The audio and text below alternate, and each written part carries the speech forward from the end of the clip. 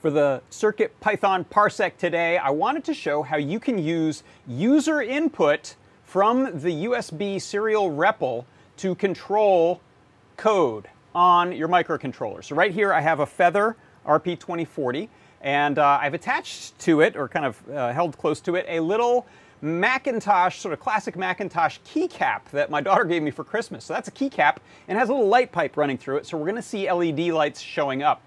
Now for the actual code part of this, you can see in my REPL, it's, it's given me a list of colors and then it says type a color name from the above list. So I will go ahead and type in, how about pink?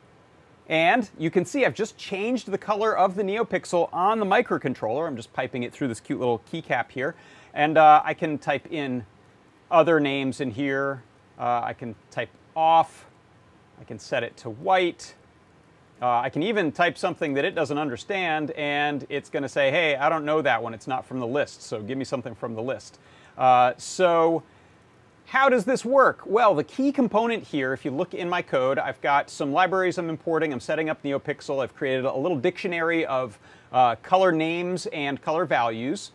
And then when we're running this, we're going to print out the little instruction, tell people to type in something. And then this is the key element. User input equals input and that's it, input in parentheses. Uh, so the next thing that happens is it waits for you to type something in. It just sits there and watches the REPL, waits for you to type something.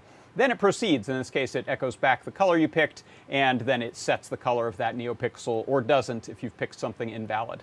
Uh, and so that is how you can use user input from the serial REPL over USB inside of CircuitPython. And that is your CircuitPython Parsec.